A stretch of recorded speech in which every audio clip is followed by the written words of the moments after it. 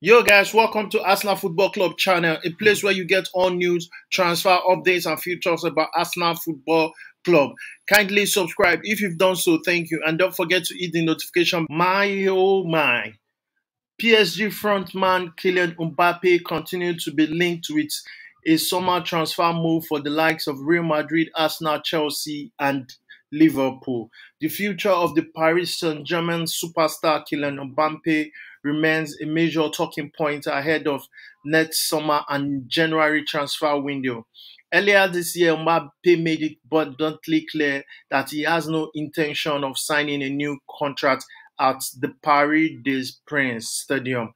Real Madrid remained the favourites to land the French international, but recent reports suggested that the 24 year old could be open to a move to Premier League, and he has chosen Arsenal Football Club ahead of Liverpool and Chelsea. This is according to Fabrizio Romano.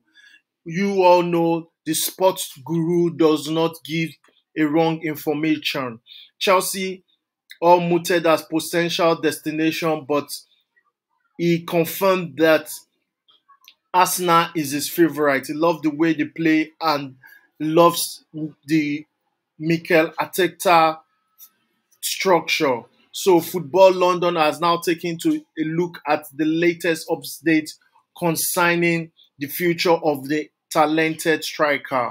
So with what is going on now, it will be a very big steal if we can get him down to the Emirates you know that Gabriel Jesus is always injured and Eddie Nketiah is not so superb in front of goal. Getting Mbappe will be the signing of the century. So please let's get Edu and Mikel Arteta to do this deal for us. So kindly comment down below what you think about Kylian Mbappe being in love with Arsenal. So don't forget to like, share, subscribe. Thank you.